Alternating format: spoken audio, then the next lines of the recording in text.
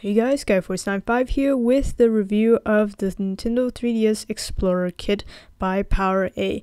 Now I have already done an unboxing video where I went over in detail every single thing that came in this kit. So if you haven't watched it already, check out the link in the description. Now I bought this off Amazon for just under $5 at the time of this review.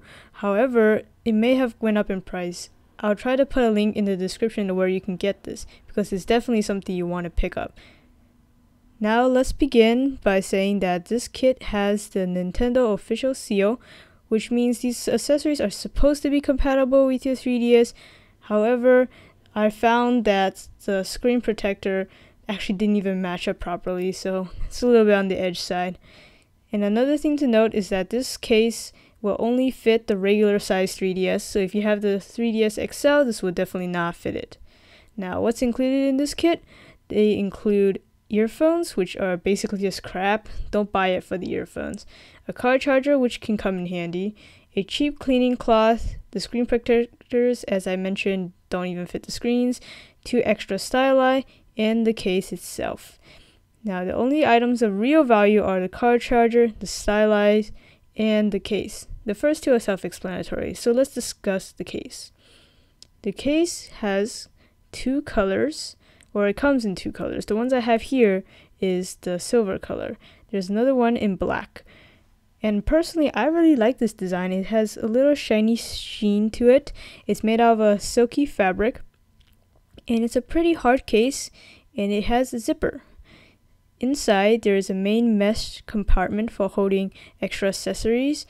And there are three slots on the divider for holding games or SD cards a strap for keeping, keeping the 3DS in place, and of course, under that is the place to put your 3DS. Overall, I like the design. It has the extra added drop protection is very nice from being a hard case.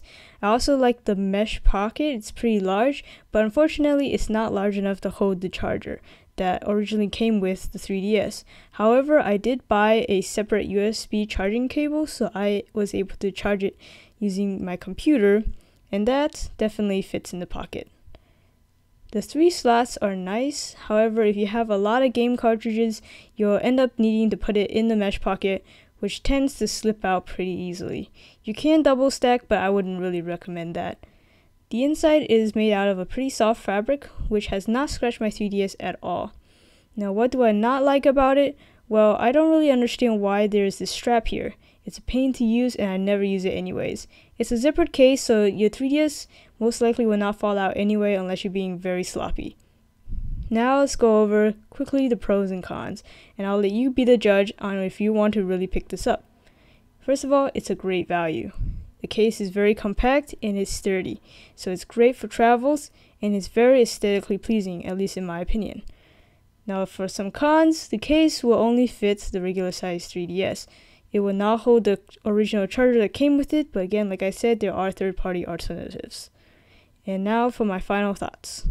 Overall, I think this is a fantastic kit for your regular size 3DS.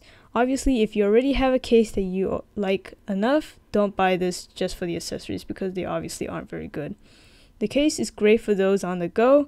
It won't hold everything, but it will hold most of your accessories and your favorite three games, plus the one that you keep in your 3DS.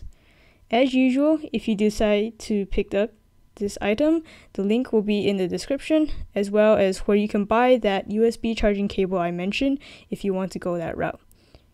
Please subscribe if you're watching this on YouTube, and like if you found this video helpful. Thank you.